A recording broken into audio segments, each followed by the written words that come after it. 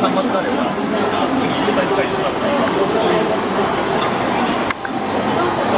要望は利用者に言い出してもらうとか、コンコして、あ例えばある人はですね、こういうトランケースにつけて、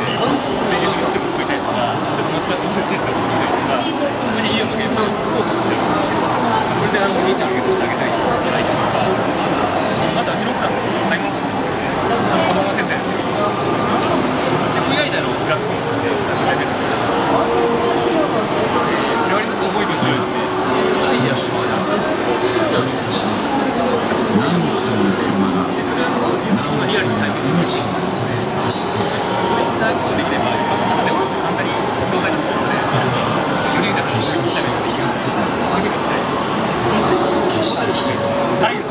悲しませるはいまさにですよ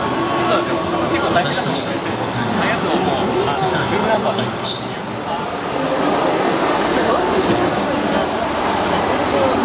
うそれますかあ、い。い。ですよ。どっちでも。レーザー光が出る方が前にあはい。そうはい。です。はい、どうぞ。はい。あ車が走ってい。る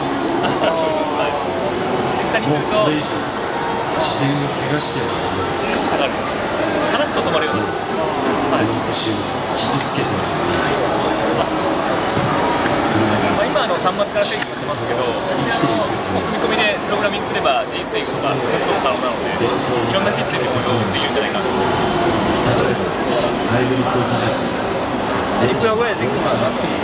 いいですねまだちょっと値段を全然決めてなくてですね、でもあのやっぱりあの例えば僕らの足回りサブシステムなんで、こういったアプリケーションを実現したいというお話をいただければですね、まあ、このコラボレーションで何かできればいいなと、はい、そういう声をいただければと思いますで乗り切る、伝送。